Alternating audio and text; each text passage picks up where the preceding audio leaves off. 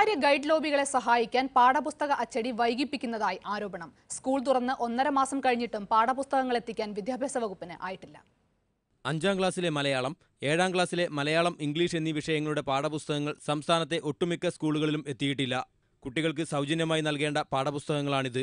അൻപത്തെട്ട് ശതമാനം അതായത് പകുതിയിലേറെ കുട്ടികൾക്ക് പുസ്തകം നൽകാൻ ബാക്കിയുണ്ടെന്നാണ് സർക്കാരിന്റെ തന്നെ കണക്ക്.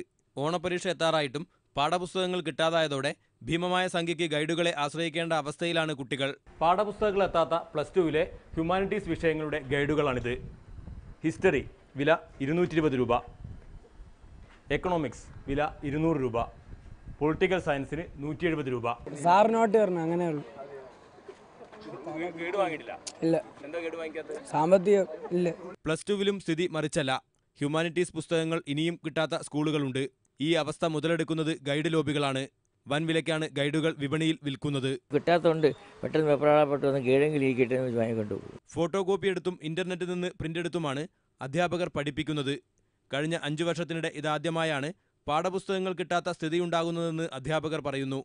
സാധാരണ സ്കൂൾ തുറക്കുന്നതിന് ദിവസങ്ങൾക്ക് മുമ്പ് തന്നെ പാഠപുസ്തകങ്ങൾ സ്കൂളുകളിൽ എത്തും. പേരൻസ് കംപ്ലൈന്റ് നമ്മൾ ഇഷ്യൂ ചെയ്യാത്തതല്ല. അത് അവർക്ക് ബോധ്യപ്പെടുന്നുണ്ട് കാണും കിട്ടുന്നില്ല. ഒരു സ്കൂളല്ല. അച്ചടി വൈകുന്നതാണ് പാഠപുസ്തക വിതരണം താറുമാറാക്കിയത്. പൊതുമേഖലാ സ്ഥാപനമായ സിയാപ്റ്റാണ് സാധാരണ പാഠപുസ്തകങ്ങൾ അച്ചടിക്കാറുള്ളത്. സൗകര്യങ്ങളില്ലെന്ന പേരിൽ ഇത്തവണ സിയാപ്റ്റ് തമിഴ്നാട്ടിലെ സ്വകാര്യ പ്രസ്സുകളെ അച്ചടിക്ക് ആശ്രയിക്കുകയായിരുന്നു. പ്രശാന്ത് നിലമ്പൂർ ഏഷ്യാനെറ്റ് ന്യൂസ് തിരുവനന്തപുരം.